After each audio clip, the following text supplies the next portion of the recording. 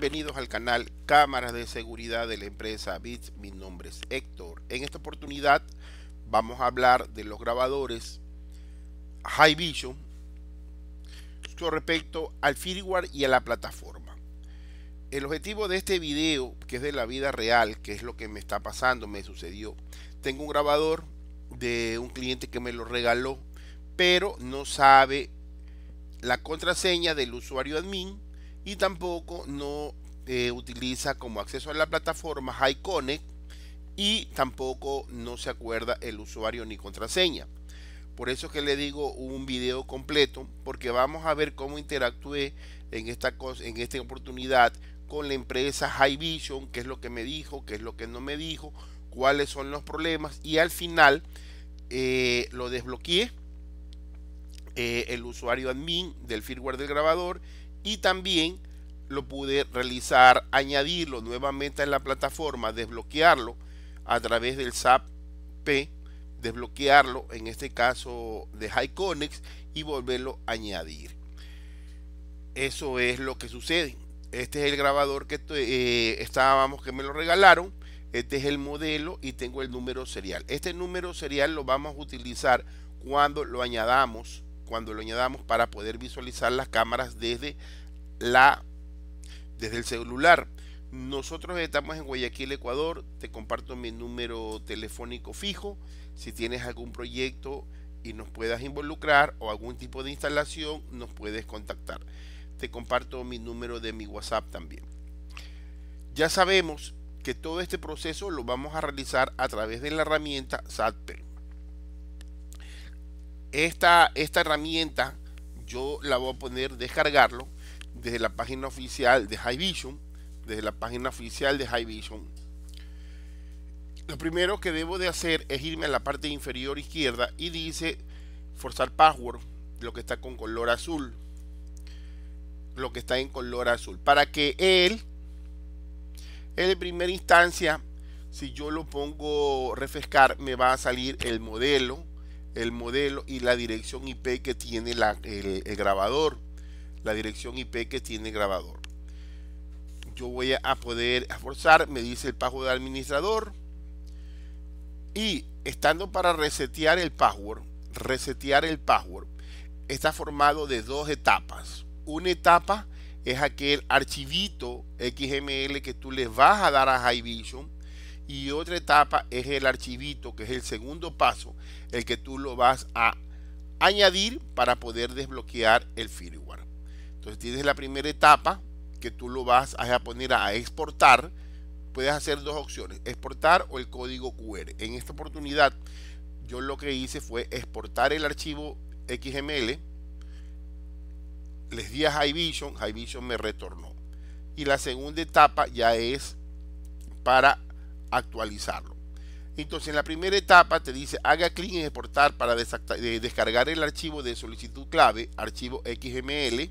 Esto es lo que está diciéndote. O tome una foto o el código QR y envíe el archivo XML o foto a nuestros ingenieros técnicos. El segunda etapa te dice ingrese la clave o importe del archivo recibido. Esto es lo que me mandaron por correo electrónico para poder es aquí, importar archivo. Entonces, yo lo que voy a hacer la primera etapa, lo que yo hice fue descargar el archivo XML a través de la herramienta SAPTool. Lo, lo selecciono exportar y le puse en una carpetita. Y me dice exportación exitosa. Yo voy y verifico, yo le puse desbloqueo de Vision, yo verifico y aquí está el archivito. Este archivito ya lo tengo descargado y tengo que enviarlo a Vision. Pero ¿a cuál correo electrónico? ¿Cómo yo me contacto con ellos? Yo en, el navegador puse Vision Latinoamérica Soporte y veo que tiene contáctanos. En esta es la ruta de tipo de contactos, tienes de diferentes países, los números telefónicos y de Ecuador me salió soporte arroba y el número telefónico. Estamos correctos. Estamos correctos. Yo le escribí a este correo electrónico y le mandé el archivo adjunto, el que yo me bajé del SAPTool, el XML. ¿no verdad? Y simplemente le coloco estimado soporte técnico por medio del presente, cambiar contraseña del firmware y desvincular HiConnex. Desvincular. Yo después en el transcurso me di cuenta que con la herramienta SAPTool, SAP también lo puedes desvincular de forma inmediata, rápida. Entonces ellos me contestan un correo electrónico inmediatamente a los 5 minutos y me, mandan este mensaje. Me gustó porque me dice que también yo puedo desvincular el HiConnex desde la misma herramienta SAPTool. Entonces me dice, hay dos formas de realizar el promedio por HiConnect o HiTools. Y me dice que puedes realizar el proceso y aquí en el segundo punto, el correo que ellos me envían, esto es lo que a mí me interesa. Descargar ya el SAPTool, llamémosle oficial de ellos, el oficial de ellos. Yo lo descargué, ya tenía SAPTool, pero este ya es el oficial de ellos y me dicen también a qué hora es, hoy es el día eh, viernes, hice en la noche, y me dan los horarios con que ellos trabajan. Me enviaron el archivo, entonces yo voy a montarlo en el firmware del grabador. Habíamos contado que íbamos a aportar en importar archivo en la segunda etapa. Cargo el archivo, le pongo confirmar, le doy confirmar y me di cuenta que me salió error me salió. Recuerden que este es un grabador de un cliente que me lo regaló y me salió error. Intenté y me salió error y me contacté otra vez con ellos y ellos me decían que el cálculo que ellos hacían para desbloquear era a través de la fecha y la hora.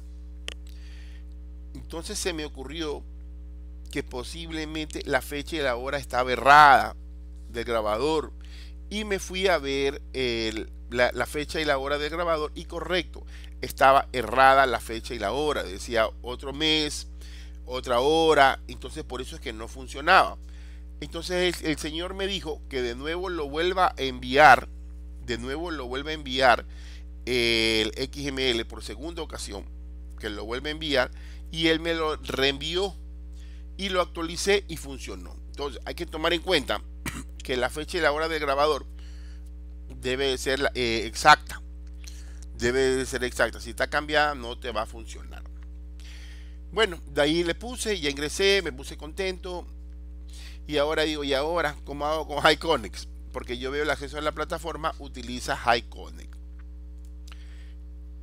Se me ocurrió que para hacer funcionar el HiConnect deberíamos de estar en el mismo segmento de red, tanto la laptop que tiene 100.30 y el grabador que ya lo pude ingresar, ¿no verdad? Lo puse en línea, cogió una dirección IP a través de HCP y estando en línea ya le cogió la 234. Estaban los dos en el mismo segmento de red. Me percaté que aquí tengo la opción para desatar, desvincular, eh, descadenar lo presioné y me dice que le doy el password del administrador.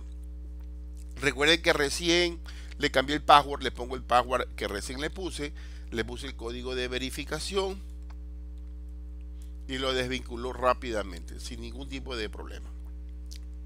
Sin ningún tipo de problema. Bueno, entonces ya lo tengo yo, es activado el password, cambié la contraseña del usuario admin, ya lo desvinculé de HiConnex, pero ahora lo que yo quiero es añadir los iconics, ¿no verdad? Y verificar si verdaderamente funcionó lo que hemos hecho. Yo me fui al registro de Iconics, ingresé con mi usuario, mi contraseña, tienes que tener registrado en Iconics, me dice que tengo otro grabador que está desconectado, yo me fui a añadir, agregar, agregar, y él me dice que le ponga el número serial para poderlo buscar para poderlos buscar. Como les comenté en la etiqueta está el número serial y le puse el más para agregar y le pongo añadir. Entonces él al ponerle el número serial y buscar si lo encuentra me va a ponerme eh, este símbolo para que yo lo añada. Si no lo encuentra, voy a decir que no lo encontró. Y le pongo añadir. Aquí me dice que está añadido de forma correcta, le pongo OK y me dice que ya está en línea. Este es el grabador que me lo regalaron y está en línea. Está en línea. Recordemos que esta es la ficha donde encuentro el serial del equipo, lo puedes encontrar en el sticker que está en la parte inferior. Yo ingresando ya por HiConnex, primero me dice que puedo ingresar por número telefónico por correo, selecciono el correo, pongo el, mi correo electrónico, pongo el serial. Recordemos que ya pude ingresar a través de la plataforma, a través del navegador y veo que está en, gris. Cuando está en gris significa que no está activo y cuando está en negro está activo y me pide la contraseña. Esta contraseña, ¿dónde la encuentro? En el menú, en el menú, en el menú principal. Voy a ingresar yo porque no me acuerdo de la ruta.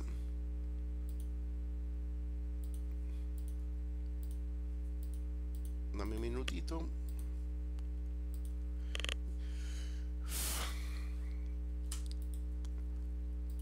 En configuración del sistema, red, configuración del sistema, red, ahí te dice acceso a plataforma. Ahí está la contraseña, código de verificación, código de verificación, configuración del sistema, red, acceso a plataforma, código verificación, escribes el código de verificación y te va a salir la primera camarita.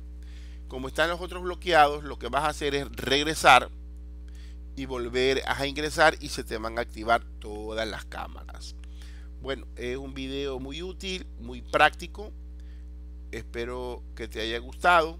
Saludos desde Guayaquil, Ecuador.